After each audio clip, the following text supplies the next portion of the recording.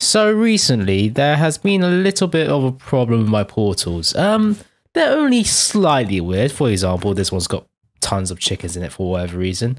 This one, I don't even know what this is. And inside here, we've obviously got the grocery store. And inside here, we've got a warning do not go near sign. Oh. Oh yeah, that's just not mildly terrifying. Oh. Oh, I like this. One of us, one of us, one of us, one of us.